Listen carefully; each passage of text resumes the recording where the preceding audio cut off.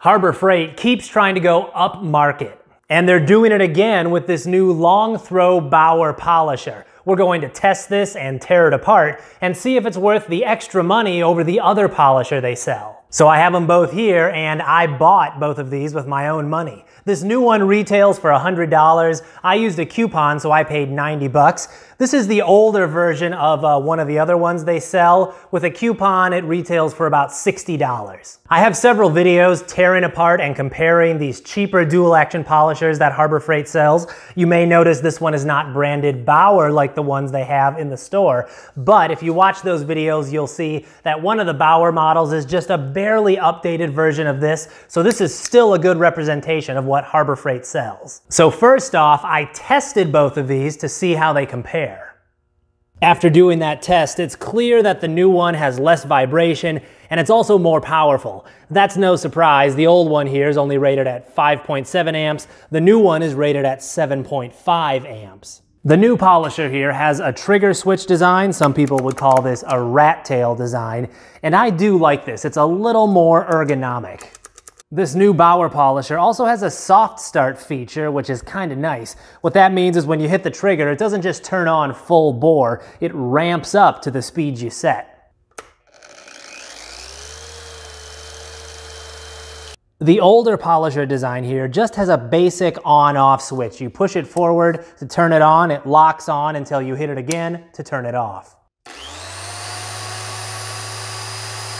There's a pretty obvious difference in the handle designs on these. The old one has a handle like you'd find on most angle grinders. Uh, you can put it in three different positions here. The new one has this handle on the front here with a rubberized overmolding, and this is more similar to what you would find on a lot of higher end polishers. Both of these have 6 inch backing pads with Velcro on them, uh, but you can see the design is a little bit different. Here's one thing on the old one that might be a benefit for some people. The backing pad is pretty generic, it just screws in.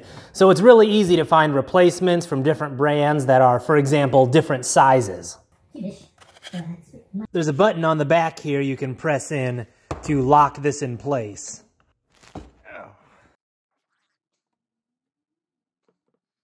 That was really hard to unscrew. I was worried for a second there that uh, I stripped it, but you can see in there they use thread locker on it.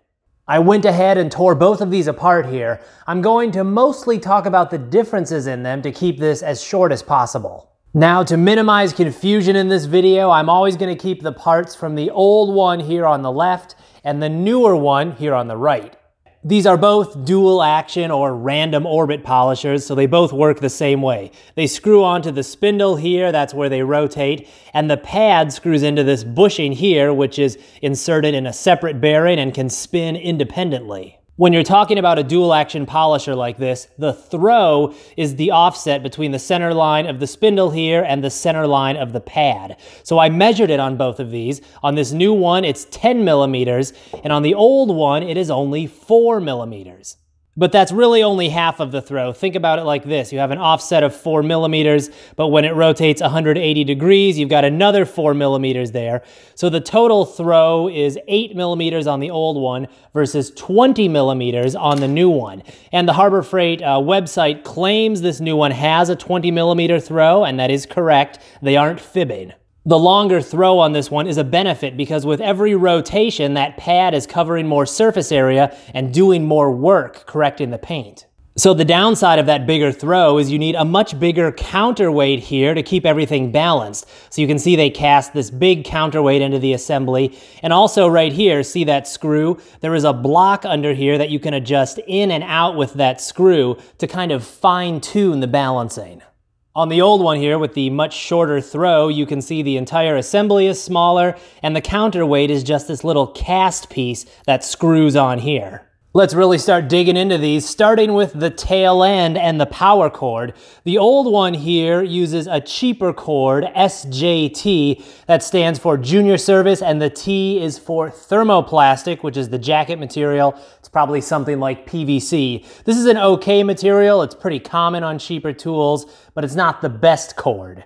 The cord on the new one here is just marked SJ. What that means is it is a thermoset rubber jacket. An SJ cord is a more flexible, it's tougher in some ways. It's overall just a better quality cord. And the new one here has a super long cord. It's 12 feet. That's nice because when you're using a polisher like this, you throw the cord up over your shoulder, and with a long cord like this, you don't have to rely on extension cords as much. The cord on the old one here is only half as long, but on the newer Bauer versions of this, they did put in a longer cord. The new one here also has a nice beefy cord protector. This keeps the cord from really sharply kinking over, which can cause it to fail. Looking at the bearings here, the old one has sealed bearings. We can see that's good. That helps keep out contamination. There's also a brand name on here, CHL, which is kind of a mid-level Chinese company. So this is not a top shelf bearing, but it's also not a total no-name bearing.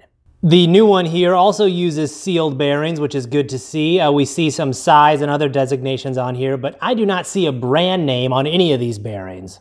Looking at the rotors here, or armatures, a close look shows that they have been resin dipped here to help reinforce the windings, but they did skip a detail on the new one. If we look at the old one, there's epoxy reinforcement here where the windings connect to the commutator. This is a place where vibration can cause that connection to break, which causes a failure. This epoxy just helps reinforce everything, and they skipped it here on the new one.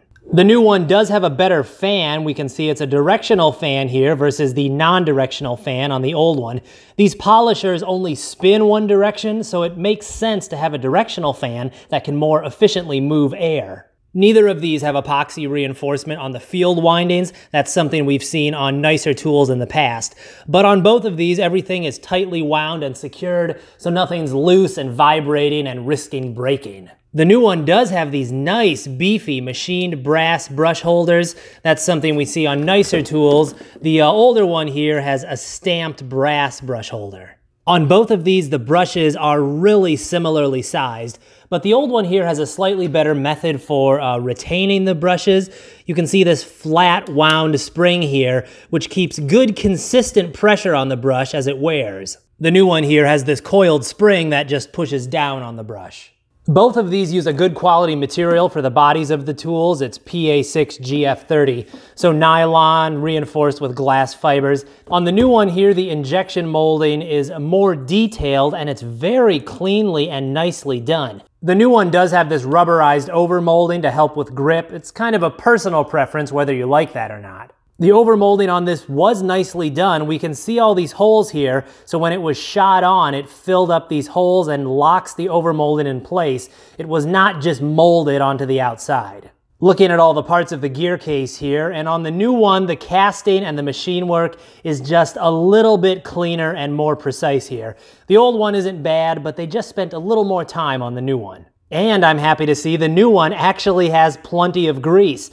We've seen some Harbor Freight tools in the past that just didn't have enough. On the old one here, this is not the original grease. I re-greased it quite a while ago. When we look at the new one here, we see the shaft that goes through the main gear rides in a little ball bearing down in here. That's nice to see because on some tools like the old one, it's a little bit hard to see in here, but this just has a simple bushing, no bearing. If we take a close-up look at the crown gears here, the quality and the fineness of the machine work is just a little bit better on the new one. Check out the uh, face of the gear here, and that also goes into the teeth. They're just very well formed and very cleanly cut. The old one here is not bad. It's far from the worst we've seen. It's just not quite as nicely done. Neither of these use a name brand switch, but they do share some details, like they both have heat shrink tubing here uh, leading up to the connectors. This new one is a little heavier duty switch. It's 15 amps versus only 8 amps on the old one. The new one here has a boot on the actual switch itself to help keep contamination from getting in there. The old one has something kind of similar. It uses a uh, rubber O-ring. It's a little bit hard to see in here, but if you look down in there, it's all black, and that's because the speed controller here has been filled with epoxy. That helps reinforce the physical connections down in there, but it also helps keep moisture and contamination from getting in there. This is a nice detail, and it's also included on the old one.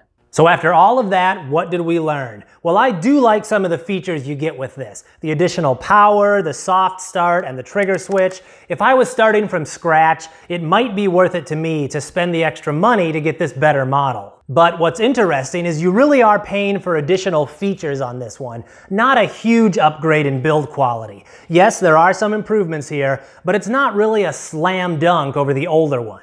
So like I said, if I was starting over, I might spend the extra to get this new model, but in reality, I only use my polisher a couple times a year. So it's not worth it for me to spend the money to upgrade to this current one, because the old one I have does what I need just fine. So what do you guys think? Would you spend the extra money on this new polisher? Let me know in the comments down below. And while you're down there, hit that like button and that subscribe button. And thanks for watching.